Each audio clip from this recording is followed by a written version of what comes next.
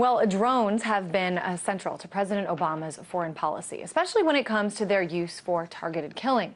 Most people by now have heard of Obama's kill lists, and it looks like the use of drones is not just a temporary strategy.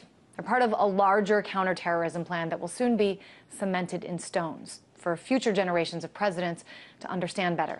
Now, this was outlined in a pretty explosive article in the Washington Post, the first of three in a series that introduces us to something called the disposition matrix. It's become a hot topic of conversation around Washington, D.C., and RT correspondent Liz Wahl joins us live now from downtown D.C. Uh, to tell us a little bit more about this. Liz, uh, what is a disposition matrix, first of all? That's right, Christine. Well, we know all about the kill list, but this actually takes it a step further. This disposition matrix, um, it's secretly been in the works for about two years now. Um, as you had mentioned, a recent Washington Post article maps out the details of this plan. Um, and what it does is it maps out a plan to find and kill suspected terrorists that can't be found, I guess, by uh, drones. And the way that this works is that this matrix it streamlines information from various government agencies and puts it into one single database. So we're talking about suspected terrorist biographies, their locations, uh, the organizations that they're affiliated with. All of this information is streamlined into this one place, and with this information, they're able to come up with some kind of a game plan um, to carry out these capture plans, a mobilize personnel and resources to actually track down the suspected terrorists, um, whether that means um, sending out a drone to monitor their whereabouts.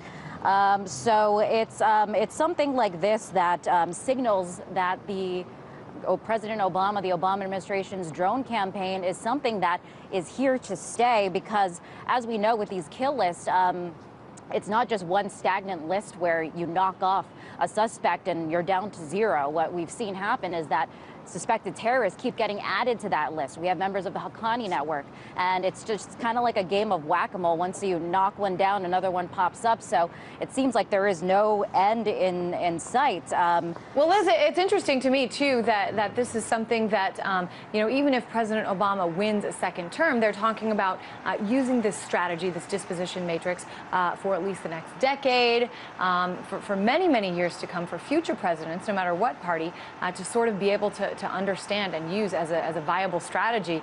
Uh, it's just so interesting because, you know, from everything we're hearing, especially leading up to the election, these wars are supposed to be winding down. I mean, what do you think? Do you think the secret plan proves otherwise?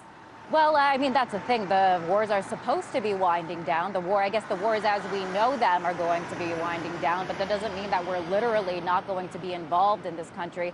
I think this, um, this report absolutely proves otherwise, that the drone campaign, um, this report uh, states that this is kind of, kind of providing this blueprint for future administrations to be able to carry on this drone campaign. And as we have seen uh, in the election so far, or the last debate, um, Mitt Romney, the issue of drones was brought up for the first time. Mitt Romney um, hailed President Obama's drone campaign, and um, uh, and obviously uh, it's his campaign, so Obama would continue to use it. But drones um, and the use of them has proven to be a bipartisan issue. Meanwhile, critics are pointing to the fact that the drone campaign has gone far beyond the targeted killings of the original intent, which is to find those and bring to justice those um, that are responsible for the 9-11 attacks. Um, and here we are over a decade later, and it's estimated that the drone campaign has killed more than 3,000 people. Many of these people are innocent civilians, and uh, there's a lot of implications of that on the ground, particularly in Pakistan, the country that has bared the brunt of this drone campaign. And, um, and so I guess something to take away from this disposition matrix, from this report, is that targeted drone killings is something, this is something that has become institutionalized, um, something that prior to 9-11 was frowned upon, taboo, or looked down upon. Today, it seems like this targeted killing is ideal and there is no clear end in sight. Um, I think it just seems like it is indefinite at this uh, point. All right, very interesting. Uh, and certainly it seems uh, because there will be a couple more articles about this, um, we're going to learn a whole lot more. RT correspondent Liz Wahl live from downtown Washington.